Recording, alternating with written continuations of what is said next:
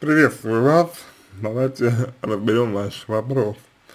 Что делать, если я буквально не понимаю, кто я? Ну, кто я, это довольно такое абстрактное э, понятие, да, и, соответственно, если э, задаваться таким вопросом, вопросом, кто я, то, в принципе, это вопрос э, для э, большинства людей, да, это вопрос довольно-таки э, философский, вот, и, в общем-то, э, целесообразность того, чтобы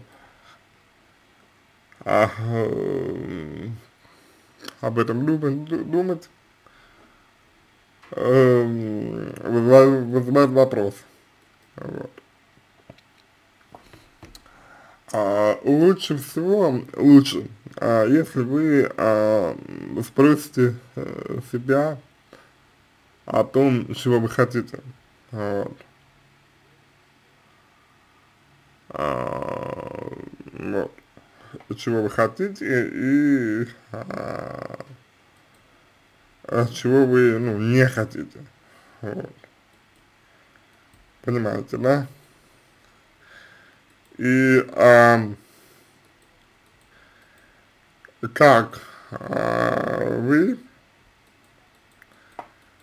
э, выражаете то, что вы э, хотите, опять же, и то, чего вы не хотите. Вот. То есть, как вы, э, ну, как вы с этим обращаетесь. Со своими, ну, желаниями, да, что ли.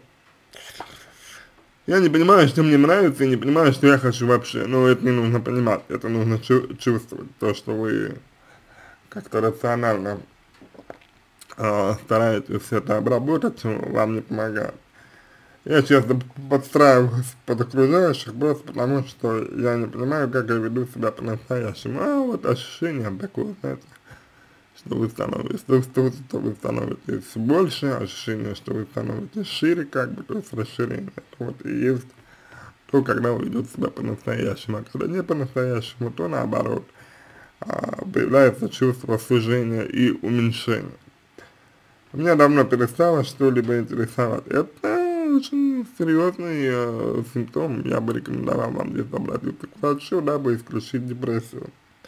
Если кто-то из друзей предлагает сходить в кафе и говорит, что ему все понравилось, я отвечаю так же, просто потому что не понимаю, понравилось ли мне. Ну, а еще раз повторюсь, вы пытаетесь как будто оценить. Вот. На мой взгляд, э, в этом здесь ваша когнитивная ошибка состоит. Я ношу маску и понимаю, что уже не из-за болезни, а э, уже, э, уже не из боязни заболеть, а, а комплекс внешности. Ну, правильно, там, потому что э, ничего более важного в жизни у вас нет сейчас. Я не могу позволить э, себя кому-то трогать, даже родни, откуда-то появилось чувство отвращения, не могу понять почему. А это злость, которую вы подавляете. Вот, это злость, э, нормальное, абсолютно естественное чувство. Я думаю, что у вас много злости.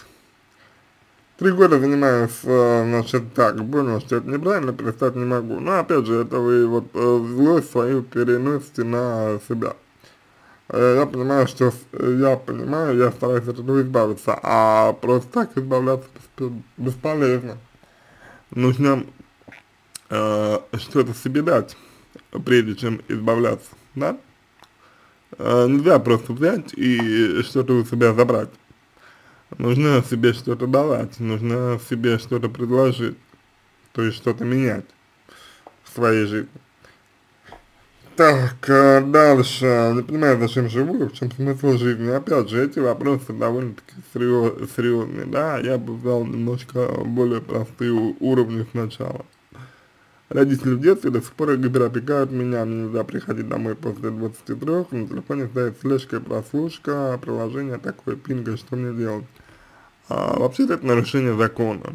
Вы можете э, сказать э, своим родителям о том, что они нарушают закон, удалить э, это, это приложение, вот, если хотите, конечно. А, и, соответственно, что произойдет, если вы придете позже, что случится.